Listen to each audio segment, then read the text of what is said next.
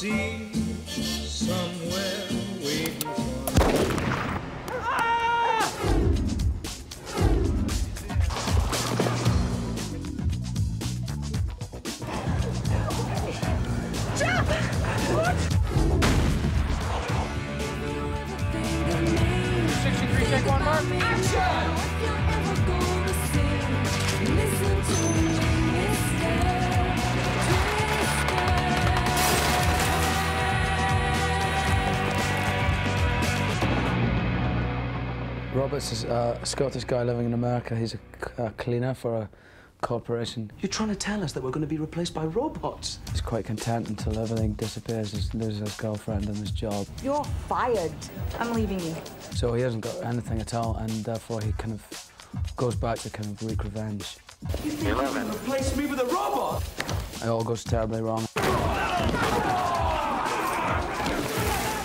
I'm Celine Naville. She's not too happy with her situation with her father when she falls into being able to pay him back for basically everything he's ever done to her.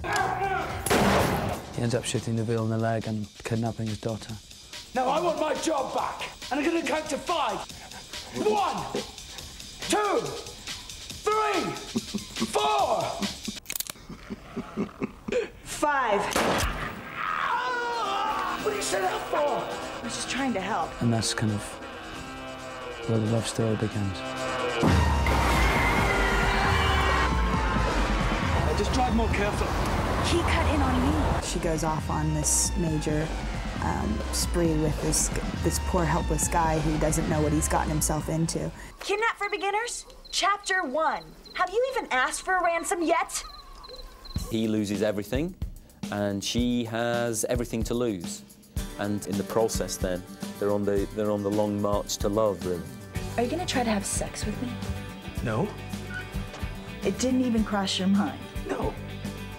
Well, no. I think after Trainspotting, this is probably an even bigger risk to be trying to tackle, you know, what what is quite a mainstream idea, the romantic comedy. Maybe we should go out.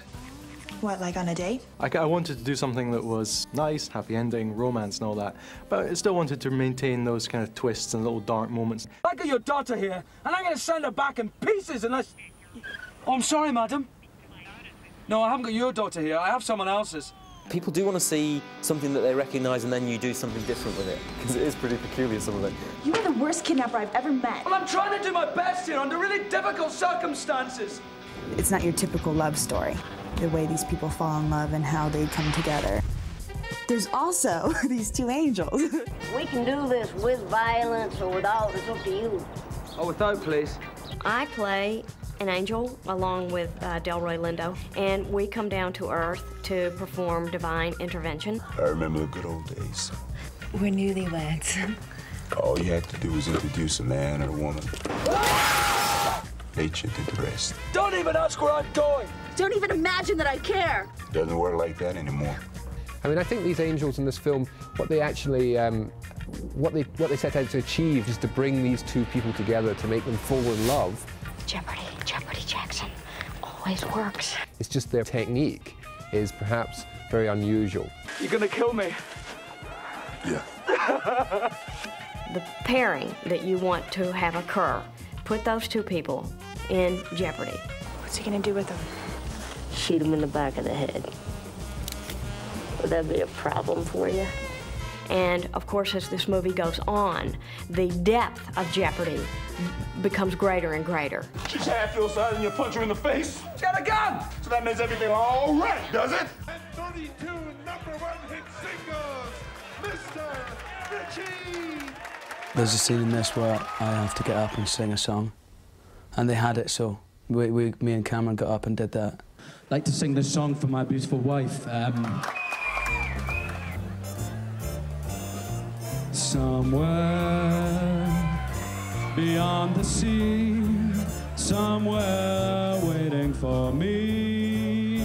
That's our love scene. This is where we fall in love. It's done really just old style, big movie, big dance scene.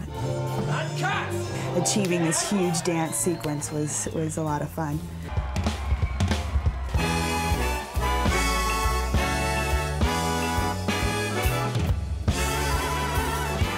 When when you're doing a love story, you've got to you've got to be very clear about what's interesting and what isn't. And uh, the truth is, what's interesting is your two romantic leads. It's those moments where they just look at each other like that, and it, and it's like it's everything.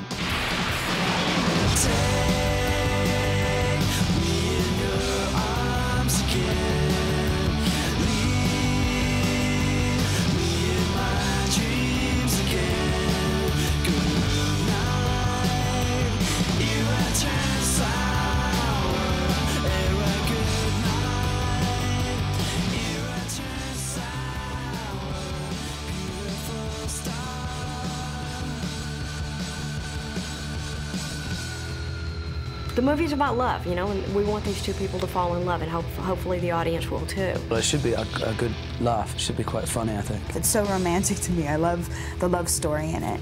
Everybody wants a life less less ordinary than their conventional life. Everybody's dreaming.